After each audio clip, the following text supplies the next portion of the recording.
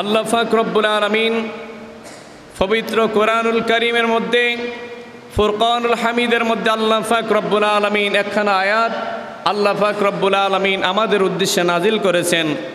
এ আয়াত কানা হলো, আল্লাহ ফাক রব্বুল আলমিন বললেন, কুল ইন্না সলাতি ওয়ানসুকি ও মাহিয়া ই মামাতি লিল্লাহি রব্বিল আলমিন। জোরে বলেন সুবাহান আল্লাহ আল্লাহ পাক রব্বুল আলমিন বলেন কুল ইন্না সলাতি নিশ্চয় আমার নামাজ।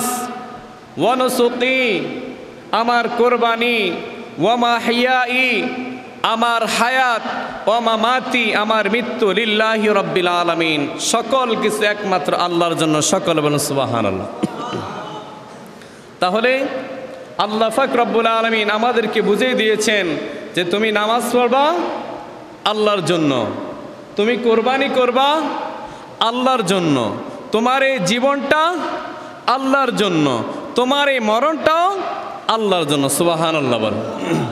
তাহলে কোরবানি, নামাজ, আমাদের জীবন, আমাদের মরণ সব কিছু আল্লাহর সন্তুষ্টির জন্যই করতে হবে, জোরে বলেন না সুবাহান আল্লাহ এই জন্যে আল্লাহ পাক রব্বুল আলামিন বলেন, ইন্না সলাতি, নিশ্চয় তোমাদের নামাজ ওয়ানসুকি তোমাদের কুরবানি ওয়া তোমাদের হায়াত ও মামাতি তোমাদের মৃত্যু। লিল্লাহি রব্বিল আলামিন, আল্লাহ পাক রব্বুল আলামিন বলেন, ও দুনিয়ার মানুষেরা, তোমাদের নামাজ, তোমাদের কোরবানি, তোমাদের জীবন, তোমাদের মরণ সব কিছু আল্লাহর সন্তুষ্টির জন্য হতে হবে। জোরে বলো না সুবাহান আল্লাহ এই জন্যে এই মাসের দশম তারিখে আল্লাহ পাক রব্বুল আলমিনের হুকুমে আমরা কোরবানি দেই, কি দেই? কোরবানি দেই। এই কোরবানির সম্পর্কে সাহাবারা জিজ্ঞাসা করলেন, ইয়া রাসূলুল্লাহ, ও মায়ার নবী, কোরবানিটা কি? এটা হচ্ছে আল্লাহ নবী বলেন, এটা হচ্ছে তোমাদের বাবা হজরত ইব্রাহিম আলাইসালামের সুন্না সুবাহান্লাহ সাহাবারা প্রশ্ন করলেন, ইয়া রাসূলুল্লাহ নবীজি গো, ইব্রাহিম আলাইসালামের সুন্নত আমাদের জন্য পালন করলে কি হবে, কি লাভ হবে, কি সওয়াব হবে?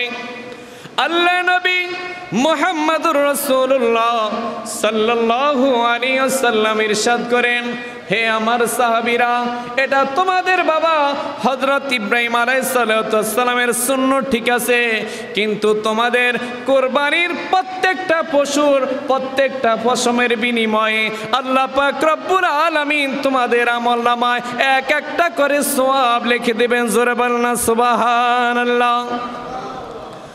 সাহাবাই কেরাম প্রশ্ন করলেন, ইয়া রাসূলুল্লাহ, ছাগলের পশমও কি তাই? বকরির পশমও কি তাই?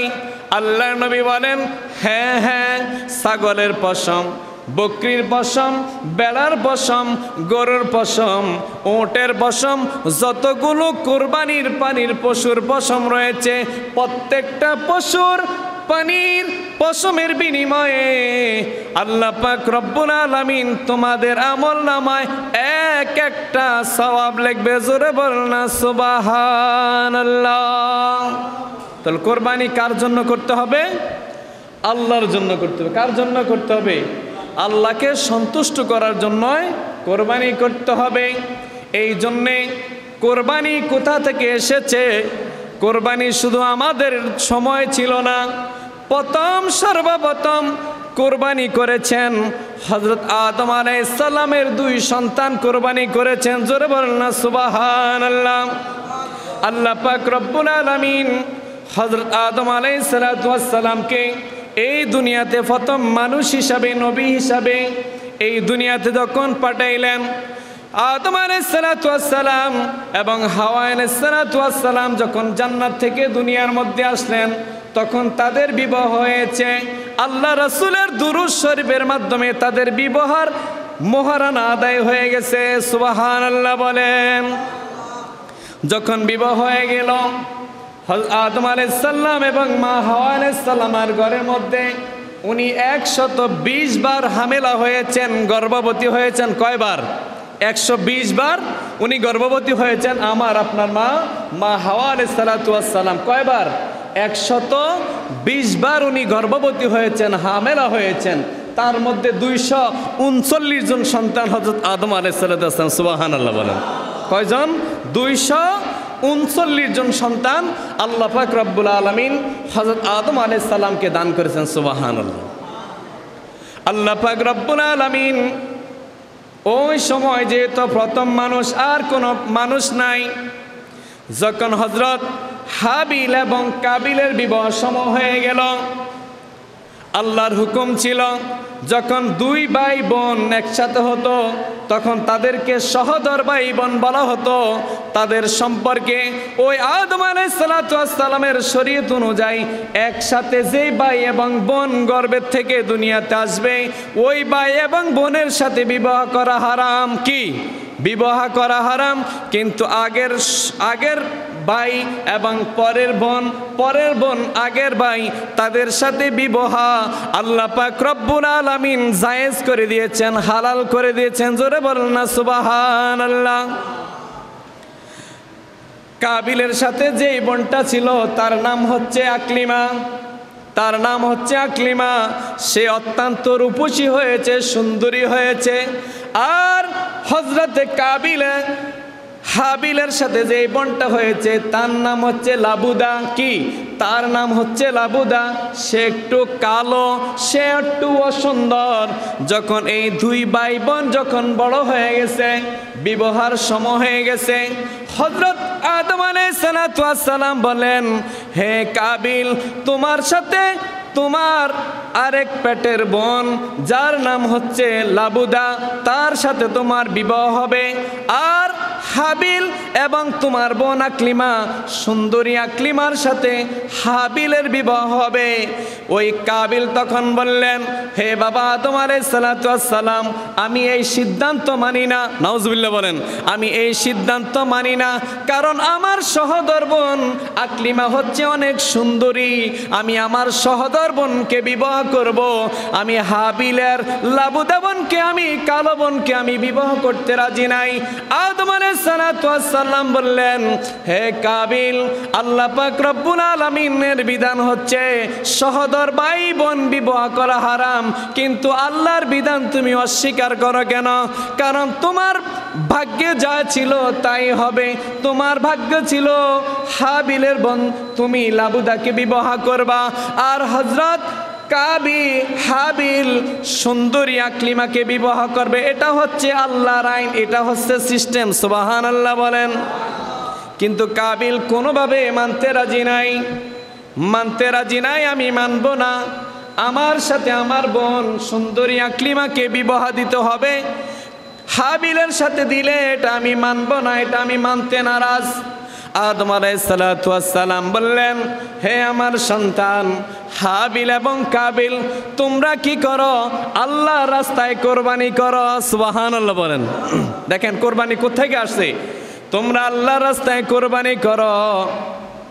হাবিল পশুপালন করত, আর কাবিল কৃষিকাজ করত। হাবিল কি করল? একটা ছাগল অথবা বকরি দিয়ে পাহাড়ের উপরে আল্লাহ রাস্তায় কোরবানির জন্য দিয়ে আসলো।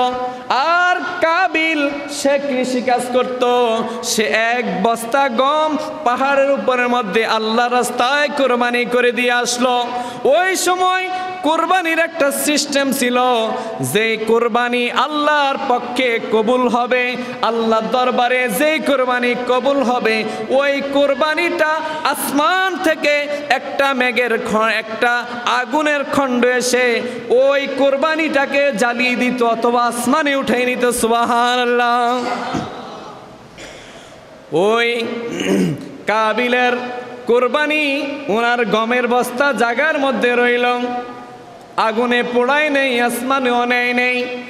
আর হাবিল যখন ওনার ছাগল এবং বকরি দিয়ে আল্লাহ রাস্তায় যখন উনি কোরবানি করলেন, আসমান থেকে একটা আগুনের খণ্ড এসে ওই হাবিলের কোরবানিটা আল্লাহ পাক রব্বুল আলামিন কবুল করে নিয়ে গেছেন। জোরে বলেন না সুবাহান আল্লাহ কাবিল বলে, হে বাবা, তোমার সালাম আপনি যত কথাই বলেন, যতই কিছু বলেন, আমার কোরবানি আল্লাহ দরবারে কবুল হয় নাই ঠিক আছে? আল্লাহ দরবারে কোরবানি কবুল হোক অথবা না হোক, কিন্তু আমি আমার সহদর বোন আকলিমাকে বিবাহ করব। আমি কখনো হাবিলের বোন লাবুদাকে বিবাহ করব না, জোরে বলেন না, নাউজুবিল্লাহ। হজরত আদম আলাইসালাম বললেন, হে আমার সন্তানেরা তোমরা বেজাল করো না, তোমরা মারামারি করো না। আমি কি করব? আমি হজের জন্য চলে যাব। কোথায় যাবে? আমি হজের জন্য চলে যাচ্ছি। আমি হজ থেকে হজ পালন করে তোমাদের এই এই বেজালের সমাধান আমি নবী। আদম আলাইসাল্লাম দিব, তোমরা একটু অপেক্ষা করো, তোমরা একটু ধৈর্য ধরো সুবাহান যখন হজরত আদম আলাই